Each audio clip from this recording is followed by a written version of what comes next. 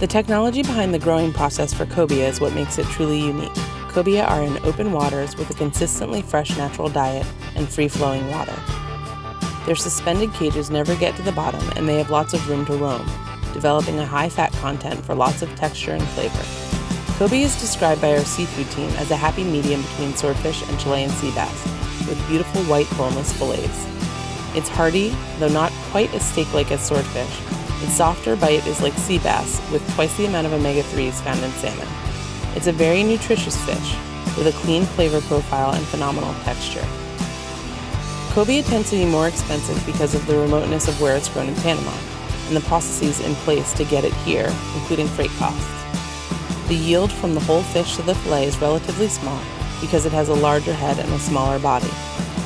However, once you have a skinless and boneless fillet like the cobia available from Rastelli, it's a 100% usable product, making it relatively inexpensive in the finished form.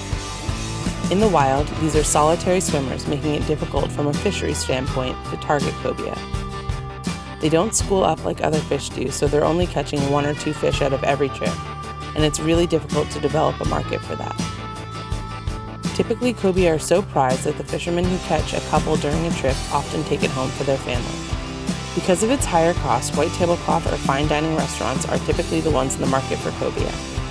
A tremendous amount is also being sold through high end retail.